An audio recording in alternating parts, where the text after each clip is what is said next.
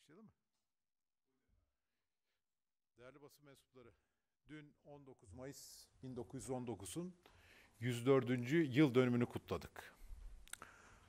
19 Mayıs, ulusumuzun büyük önderi Gazi Mustafa Kemal Atatürk'ün benim doğum günüm dediği gündür. 19 Mayıs, emperyalistlerin bölmek, parçalamak, yok etmek istediği bir büyük ulusun Mustafa Kemal Atatürk'ün önderliğinde en haklı, en şanlı, en onurlu karşı koyuşunu, mücadelesini başlattığı gündür. 19 Mayıs işgal altındaki güzel ülkemizin kurtuluşunu saraylarda değil, milletimizin tertemiz sinesinde arayanların harekete geçtiği gündür. Onun için Cumhuriyetimizin ve Cumhuriyet Halk Partisi'nin kurucusu Gazi Mustafa Kemal Atatürk bugünü Türk istiklalini, Türk Cumhuriyeti'ni ilelebet muhafaza ve müdafaa etmekle görevlendirdiği, muhtaç olduğun kudret damarlarındaki asil kanda mevcuttur dediği gençliğimize bayram olarak armağan etmiştir. Büyük Önder, gençlerine umut veremeyen bir ülkenin geleceğine de umutla asla umutla bakamayacağını görmüştür. Ama 19 Mayıs'ın 104. yıl dönümünde bir beceriksiz yönetimin elinde gençlerimiz işsizliğin pençesinde her geçen gün umudunu yitiriyor. TÜİK'in makyajlı verilerine göre taşı sıksa suyunu çıkaracak 3 milyona yakın gencimiz ne bir işte okuyor, o, ne bir işte ne de okuyor, ne de çalışıyor. Ev genci olmuş. Anasının, babasının eline bakıyor. Üyesi olduğumuz Ekonomik İşbirliği ve Kalkınma Teşkilatı içinde ev genci oranının en fazla olduğu ülke biziz. Bu ülkede analar babalar yeter ki evladım okusun, eli ekmek tutsun diye yemedi evladını yedirdi. Giymedi evladını giydirdi. Ama artık bu ülkede üniversiteyi bitirenler bile işsiz. Her 100 işsizden 29'u üniversite mezunu. Üniversiteli işsiz sayısı 1 milyonun üzerinde. TÜİK verileriyle 2022'de 18-24 yaş arasındaki gençlerin beşte birine yakın, yakını mutsuz. Oysa daha dört yıl önce 2018'de gençlerin onda biri kendini mutsuz sayıyordu. Ucube saray rejimi fiilen hayata geçtikten sonra dört yılda mutsuz gençlerimizin oranında hızlı bir artış var. Ucube saray rejimi gençlerimizin neşesini, gülüşünü ve mutluluğunu çalıp götürdü.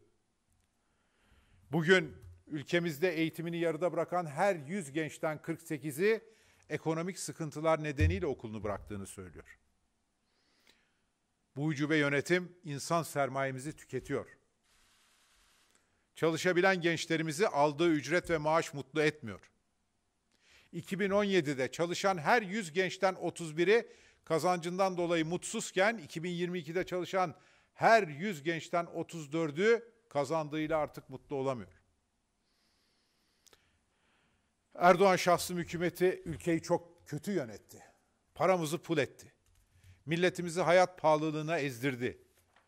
Bu koşullarda gençlerimiz nasıl evlenebileceğini, nasıl yeni bir hayat kuracağını kara kara düşünüyor. Karı koca çalışan genç bir çiftin bir ev, bir araba alması artık hayal oldu. Gençlerimiz artık evlenmeyi, bir ev, bir araba almayı geçtik. İyisinden bir telefon almayı bile zor hayal eder oldu. İş başındaki hükümet milleti unuttu. Gençlerin halini görmüyor. Seslerini duymuyor. Bugün umudunu kaybeden gençlerimiz geleceğini kurmak için başka ülkelere gidiyor. Sadece 2019-2021 döneminde 20-34 yaş arasında 417.624 gencimiz başka ülkelere gitmiş. Bu gençler ülkelerini, vatanlarını sevmedikleri için terk etmiyor. Aksine bunlar ülkelerini, vatanlarını çok seviyorlar ama beceriksiz ve kibir abidesi Erdoğan bu güzel ülkeyi yönetemediği, paramızı pul ettiği, liyakat değil sadakat diyerek kendinden olmayanları mülakatla işsiz bıraktığı için, saray kendilerine ikide bir parmak salladığı için, internette bant daralttığı için, ikide bir kendinden menkul edep ve insanlık dersleri vermeye kalktığı için, kendinden olmayana zulmettiği için bu gençler ülkeyi terk ediyor. Hükümetin başının Nasılsa tuzu kuru.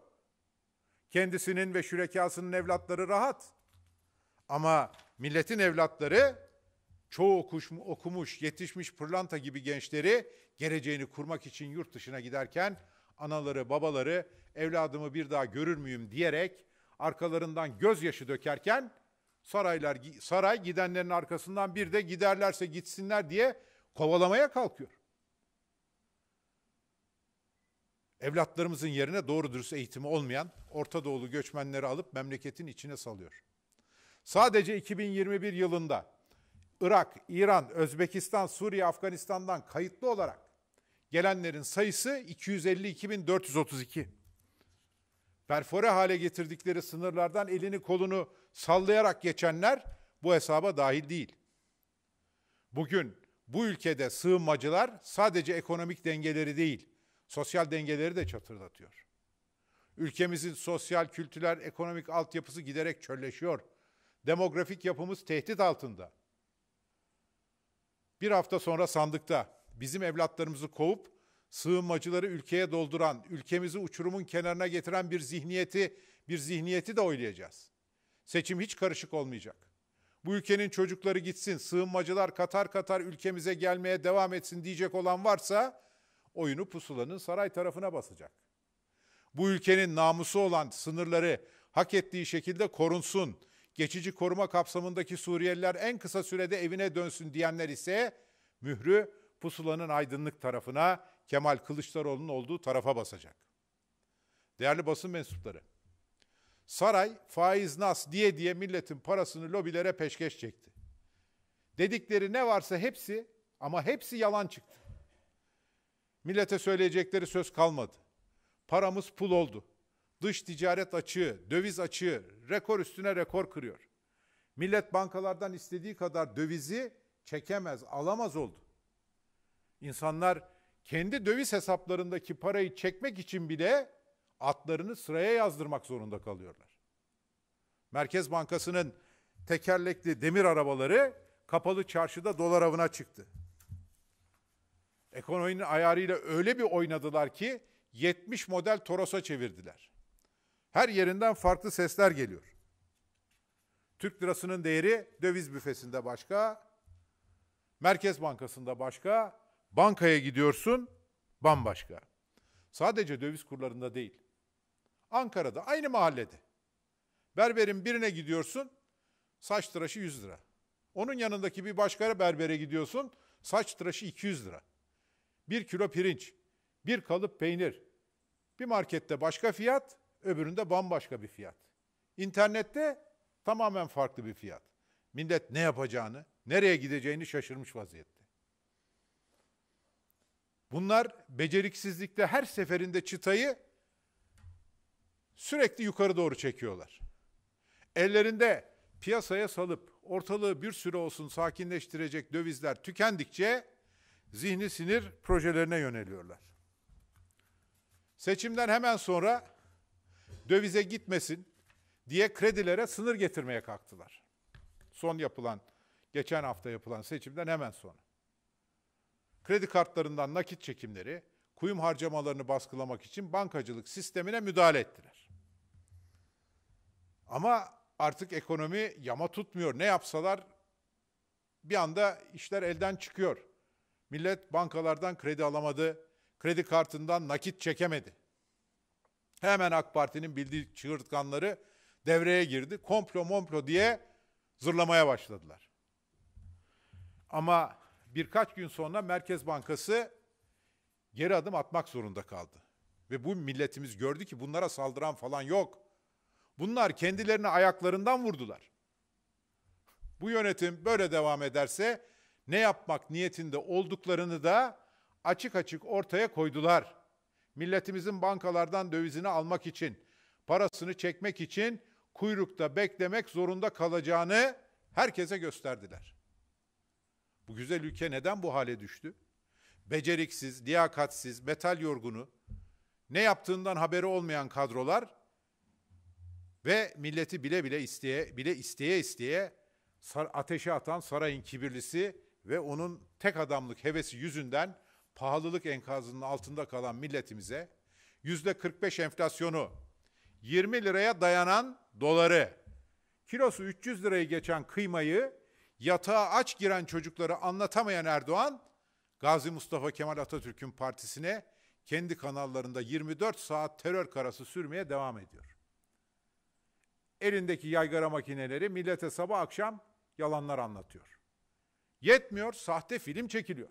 Sahtekarlık yapılıyor. Ama millete böyle sınırsızca yalan söylemenin, toplumu böylesine hoyratça germenin tabii ki bir bedeli var. Sonunda Kütahya'da pazar yerinde Cumhurbaşkanlığı seçimi için çalışan partililerimiz orada galeyana getirilen insanlar tarafından darp edildi. Buradan hepsine geçmiş olsun diyoruz. 71 yaşındaki parti emekçimiz Naciye Hanım'a saldıran bu sözde milliyetçiler Cumhuriyet Halk Partisi standındaki Türk bayrağını da yerlere attılar. Buradan söylüyorum bizim partilerimiz Şerife Bacılardır.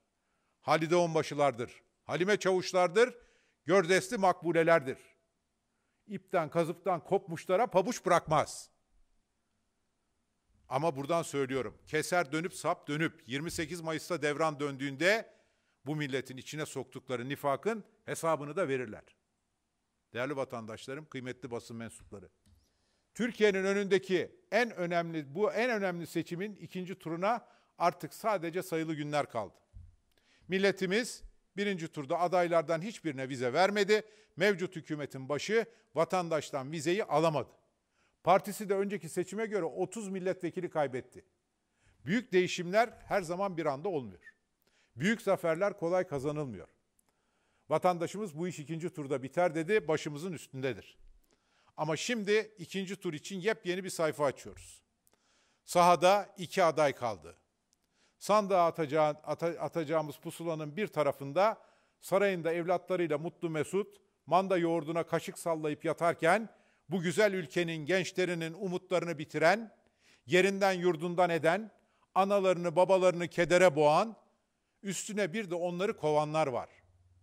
Dünyanın en verimli topraklarında bu en ahlaklı, en çalışkan insanları çalışsa da çalışmasa da açlığa mahkum eden, sonra da Allah affetsin deyip kul hakkı yiyenler var. Harun olacağım deyip Karun olanlar var. Bir de bunlar konuşulmasın diye istibdada başvuran, birbirine bu milleti birbirine düşürmeye kalkanlar var. FETÖ'yle ortaklık yapan, seçim, kazan, seçim kazanmak için bölücü terör örgütüyle kol kola giren, Sadat'a, domuz bağcılara, Gaffar Okkan'ı şehit eden terör örgütlerine sırtını yaslayanlar var. Trump, aptal olma diye mektup yazdığında sesini çıkarmayan, o mektubu Beyaz Saray'a gidip yüzüne çarpmayan korkaklar var. Trump şimdi o mektubu lokantasının duvarına asmış. Bu ülkeye bu utancı yaşattılar ya. Yazıklar olsun. Pusulanın diğer tarafında ise çiftçiye, emekçiye, millete Cumhuriyet'in verdiği değeri veren, hakka, hukuka, adalete sahip çıkan, Beytül Mali gözünden sakınan, senlik benlik yoktur bizde. Hepimiz birer damlayız aynı denizde diyen, zalimden değil mazlumdan yana olan, çalandan değil çalışandan yana olan, ezenden değil ezilenden yana olan, birleştirip kucaklayan, tecrübeli dinamik kadrolarıyla aziz milletimizi önce feraha sonra refaha kavuşturacak Kemal Kılıçdaroğlu var. Sandığa sadece bir hafta kaldı. Aziz milletimiz geleceğini aynı bir asır önce olduğu gibi kendi azim ve kararlılığıyla kurtar kararlılığınla kurtaracaksın. Biz milletimize bugün aynı milli mücadelede olduğu gibi kalk uyan yoksa ardı hicran diyoruz. Bu seçimde korktum yok. Kırıldım yok. Küstüm yok. Biz önce seçimi alacağız.